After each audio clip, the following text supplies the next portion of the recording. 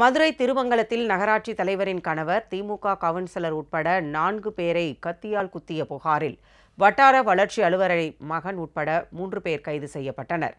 மதுரை திருமங்கலம் நகராட்சி தலைவர் ரம்யாவின் கணவர் முத்துக்குமார் நேற்று இரவு தனது வீட்டிற்கு காரில் சென்றபோது திருப்பரங்குன்றம் வட்டார வளர்ச்சி அலுவலர் ராமர் என்பவரின் மகன் முகேஷ் மற்றும் அவரது நண்பர்கள் பாதையை மறைத்து கொண்டு வழிவிடாமல் வாக்குவாதத்தில் ஈடுபட்டனர். அப்போது முத்துக்குமார் அவரது சகோதரரும் ஐந்தாவது வார்டு திமுக கவுன்சிலருமான திருக்குமார் உட்பட நான்கு பேரை அவர்கள் தாக்கி கத்தியால் குத்தியதாக கூறப்படுகிறது.